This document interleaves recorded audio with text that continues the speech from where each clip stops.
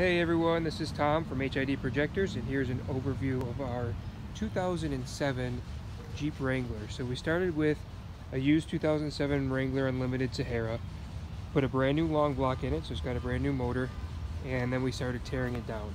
Uh, everything's basically been replaced and I'll give you a quick walkthrough of what we have. So starting from the front, you can see the VPR bumper. It's been powder coated clear, so it's got like a cool raw metal underneath it. Got the Warn Platinum 12 synthetic rope winch and the Factor 55 Fat Link. Got our Revision 2.0 Chroma color changing headlights, some generic LED turn signals. Up here you have, this is the RK Sport carbon fiber ram air hood. We've got VPR fenders. We've got Skullkrusher inner fenders. We've got the Skyjacker uh, LeDuc coilovers is nice and squatty, so it's set pretty low right now.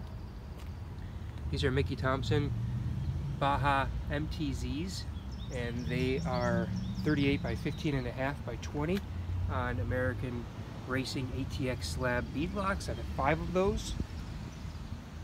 Uh, underneath the hood, there's a Volant intake, and everything else is pretty much stock under the hood. We've got amp power steps here. When you open the door, they light up and they come out automatically and then when you shut the door I'll have to slam it here. When you shut the door they'll go up after a pause. Okay? Around back standard hardtop the other VPR fenders. Back here you got the Poison Spyder trailgate so this is aluminum that we powder coated or rather clear coated with just a slight tint in it kind of give it that raw metal look to match the bumpers or at least go with the theme so another set of the VPR bumpers. Uh, got a hitchback here. Got the Corsa exhaust. So the whole exhaust is brand new uh, from the collector's back.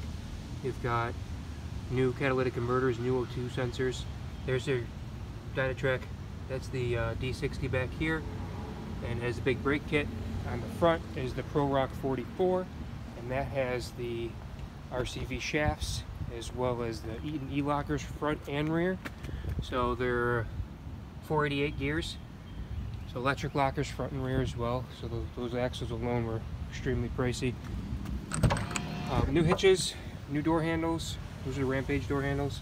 Inside you've got the rock hard cage. We've got custom seats from TMI, front and rear. Car seats are in the back, but you can see those.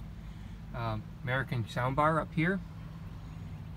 Custom made soundbar for us. I've got the Seicane touchscreen, you know, Android-based head unit that has backup camera and DVD and Bluetooth and all that fun stuff.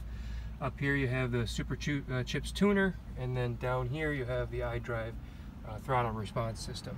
So custom interior as well. Up top, if I can scroll up, you'll see I've got the Mopar um, headliners as well in the back or in the carpet rather everything is bed rug so it's all been removed and replaced brand new. Uh, and then you get the Mopar standard floor mats open the back door here. Just to give you a quick idea back here. Shot into the back. There's the bed rug for the trailgate. So that's pretty much everything on the build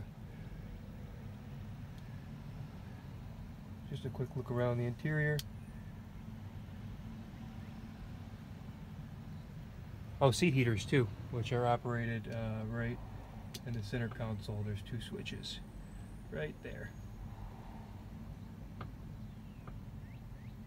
Alright, thanks for watching guys. Any questions, please let us know.